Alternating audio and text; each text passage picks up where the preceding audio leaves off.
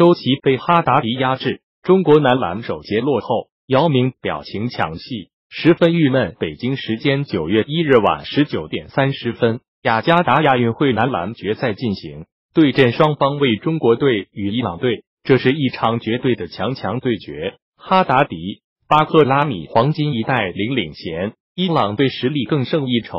而中国男篮这边红队球员里，周琦、丁彦雨航领衔，没有易建联，也没有郭艾伦等一众好手，实力大打折扣。果不其然，中国男篮开局打得不好，虽然进攻端也限制住了几次哈达迪的进攻，但是中国队前几次投篮都投丢，伊朗队率先找回节奏。而周琦把戏上演隔扣，隔扣的人是劲敌哈达迪。首节末段，伊朗前场篮板抢得足够出色，不断拉大分差。方硕投进三分，帮助中国队追分。伊朗七十七号投进三分还击，这边还是方硕站出来投进中投，帮助中国队顶住压力。首节结束时，中国队十八比二十五落后七分。中国队得分最高的是方硕的七分。